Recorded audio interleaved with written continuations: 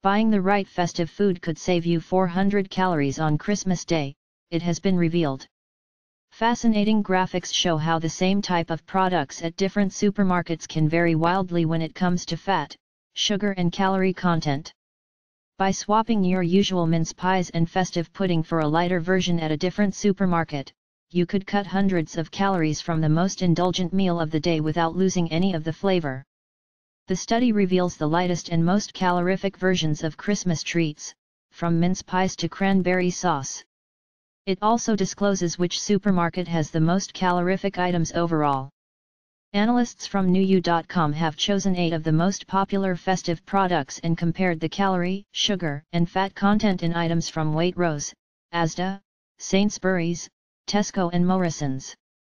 The study reveals which supermarkets have the most calorific or lightest versions of Christmas treats, including mince pies, Christmas pudding, and cranberry sauce. Related articles previous. 1 next. Is this the laziest Christmas dinner ever? Co-op unveils a revealed how you can buy Prosecco for just 4 pounds a bottle in. Share this article.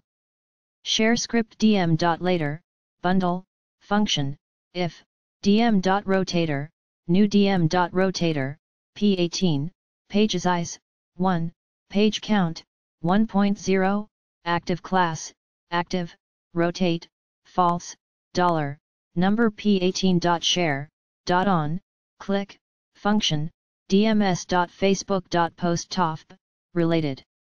If shoppers bought the most calorific items for each product, they would consume a whopping 1,697 calories on the big day.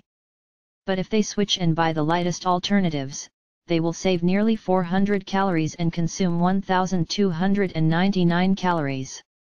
Waitrose's pigs in blankets contain just 43 calories per sausage, left, while Morrison's pigs in blankets contain 75 calories, right. Asda's extra special cranberry sauce with ruby port has 171 calories per serving, right, compared to 236 calories per serving in Tesco finest cranberry sauce, left.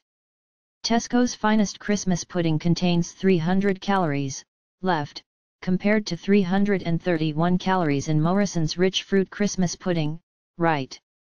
The amount of fat in the most popular Christmas treats varies wildly from store to store, as the data reveals.